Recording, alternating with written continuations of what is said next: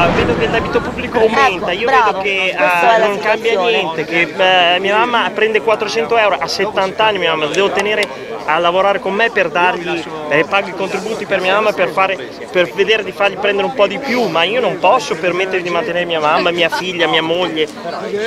Mia moglie fa la- la- alle, scuole, eh, alle scuole materne prende 1050 euro, 1050 euro.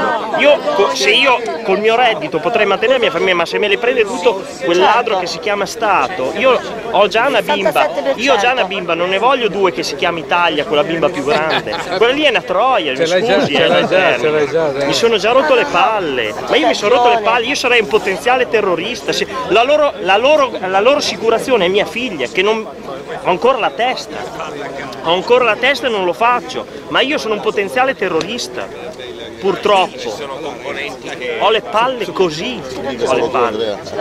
Cioè, non ne posso più. Per noi quando io sento parlare di sono Beh, e poi mi dicono, io mi dicono, eh, beh, eh, se riesci a fare del nero, ma io non riesco a fare del nero, io non lo voglio neanche fare, non è logica. In uno Stato democratico non è logica Certo. che uno debba campare con del nero. Certo, certo. E questo è il discorso.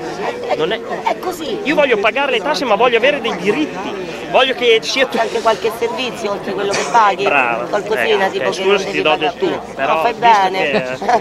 che ti ho visto là e ho apprezzato quel discorso che hai fatto, quella merda. No, ecco, io poi ti risento parlare e mi viene, cioè, dici come cavolo fai a risolvere le cose quando tu gli parli, gli dici perché stiamo dando i soldi alla TAV, perché stiamo dando i soldi agli F35, perché stiamo dando, perché non togliamo le, le province, perché non facciamo qualcosa che fa...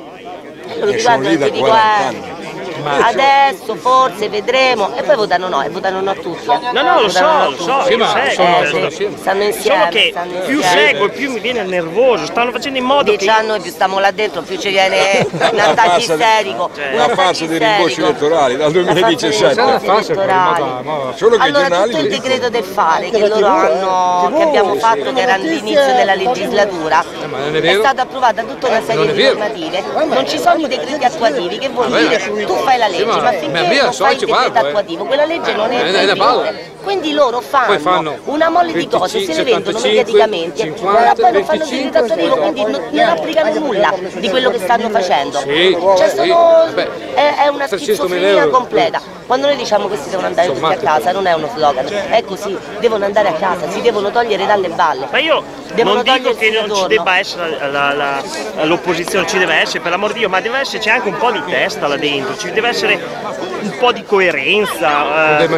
La coerenza. No, nel senso che coerenza? esatto, cambiamo tutto, eh, che ci siano eh, Ma destra, io non sinistra, voglio una sia- dittatura Movimento Esatto. 5 Stelle, io voglio confrontarmi anche con altre idee e con altre proposte, ma che siano proposte concrete e che la gente abbia voglia di metterle in atto. Poi può darsi pure che se io e te discutiamo se è meglio fare la scuola o è meglio fare eh, la casa, esce fuori che è meglio fare le case e io mi metto da parte, ma facciamo una delle due cose. Invece così non fanno niente, non si fa assolutamente niente. Dobbiamo Grazie, sul eh. pullman. Grazie, buon, buon lavoro.